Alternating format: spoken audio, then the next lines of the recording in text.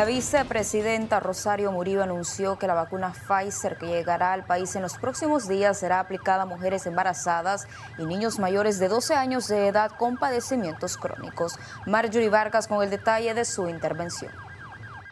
Este mediodía arribaron al Aeropuerto Internacional Augusto C. Sandino las 138 mil vacunas Sinopharm enviadas a través del mecanismo COVAX, los principales impulsores y donantes formados por Unión Europea y Estados miembros. Hemos visto en las tomas en el aeropuerto a la querida hermana Ana Ortega Treasure de OPS, hemos visto a las autoridades de UNICEF en Nicaragua, hemos visto también a representantes de Italia, Alemania, Unión Europea, España, que tanto ha donado para proteger la salud en nuestra Nicaragua bendita, a representantes de Francia, de Japón, de Canadá, de, Suiza y de Colombia que han estado ahí recibiendo estas 138 mil dosis de Sinopharm la vicepresidenta Rosario Murillo explicó que la vacuna Pfizer programada a llegar el 11 de octubre se aplicará a las mujeres embarazadas y niños mayores de 12 años con padecimientos de alto riesgo. En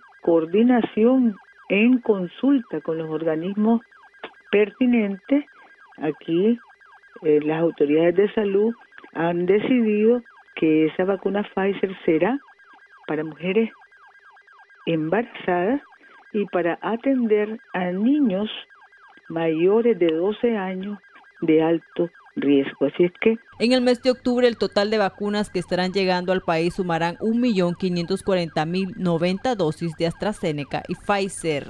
Para Acción 10, Marjorie Vargas.